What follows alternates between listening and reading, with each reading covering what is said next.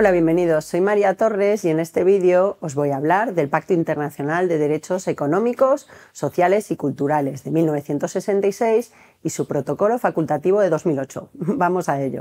El Pacto Internacional de Derechos Económicos, Sociales y Culturales conforma junto con la Declaración Universal y con el Pacto Internacional de Derechos Civiles y Políticos y sus dos protocolos facultativos, la llamada Carta Internacional de Derechos Humanos, el sistema universal de protección de los derechos humanos anclado en la Organización de las Naciones Unidas.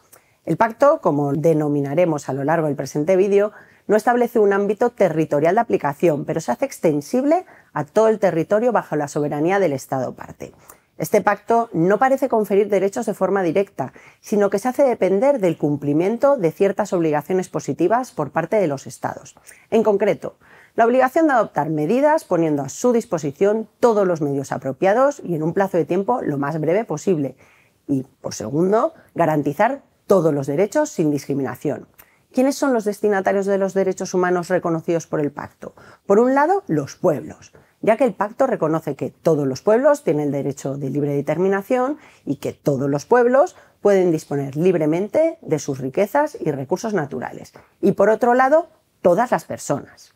¿Cuáles son estos derechos sociales, culturales y económicos que protege el pacto? El listado de derechos protegidos es el siguiente. El derecho a trabajar, el derecho a gozar de condiciones de trabajo equitativas y satisfactorias, derechos sindicales y el derecho de huelga, el derecho a la seguridad social, a la protección y asistencia a la familia, el derecho a gozar de un nivel de vida adecuado, el derecho al disfrute del más alto nivel posible de salud, el derecho a la educación y el derecho a participar en la vida cultural y a gozar de los beneficios del progreso científico. Debemos tener en cuenta, sin embargo, que existe la posibilidad de establecer limitaciones a estos derechos y que, por tanto, no se trata de derechos de naturaleza absoluta.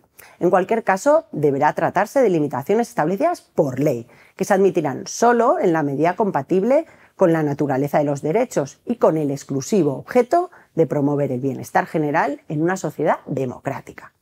El propio pacto reconoce la posibilidad de incluir limitaciones que serán únicamente aplicables a las personas no nacionales del Estado parte, en cuyo caso el Estado deberá determinar en qué medida garantizará los derechos económicos reconocidos, y otro tipo de limitaciones que serán más específicas para el goce de determinados derechos. Por ejemplo, restricciones legales al ejercicio del derecho a asociación, sindical o huelga de los miembros de las Fuerzas Armadas, de la Policía o de la Administración del Estado.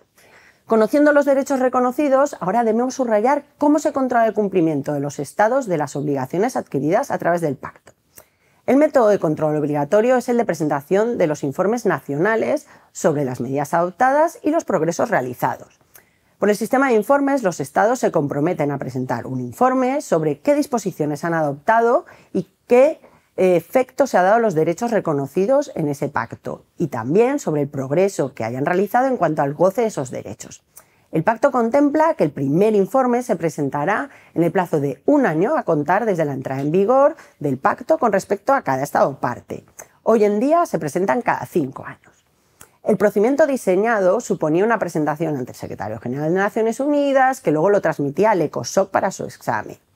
Este, el ECOSOC, lo transmitía a los organismos especializados y a la Comisión de Derechos Humanos para su estudio. Posteriormente, el ECOSOC emitía un informe con sus recomendaciones generales y un resumen que se hacía público a todos los estados en la Asamblea General. Desde 1985, el ECOSOC estableció un Comité de Derechos Económicos, Sociales y Culturales, mediante su resolución 1985-17 que está compuesto de 18 expertos independientes elegidos por el propio ECOSOC entre los candidatos estatales que se reúnen en Ginebra. Este comité no solo precisa las obligaciones de control, sino que es el encargado de emitir observaciones y recomendaciones. El sistema se ha modernizado con la entrada en vigor del protocolo facultativo de 2008, el 5 de mayo de 2013. Este protocolo facultativo revisa y aumenta las competencias del comité, para recibir y examinar comunicaciones de individuos que pueden alegar la violación de los derechos protegidos bajo el pacto y también la posibilidad para el comité de emprender investigaciones sobre violaciones graves o sistemáticas de cualquiera de los derechos enunciados en el pacto. También, según el protocolo, podrá examinar denuncias interestatales, pero en este caso ningún Estado parte ha permitido tal posibilidad. Respecto a las comunicaciones, también conocidas como quejas individuales, deben realizarse por parte de una persona o el nombre de una persona o de un grupo de personas que aleguen ser víctimas de una violación del pacto por parte de un Estado parte de este protocolo facultativo. Junto con ello, el Estado parte del protocolo debe haber reconocido la competencia del comité para ello. No se permiten comunicaciones anónimas. Estas quejas deberán presentarse junto con un resumen de los hechos del caso, siempre en orden cronológico, incluyendo los recursos solicitados a nivel interno y las decisiones adoptadas, en cumplimiento de la regla del agotamiento de los recursos internos. El plazo para presentar la comunicación desde el agotamiento de estos recursos internos es de un año.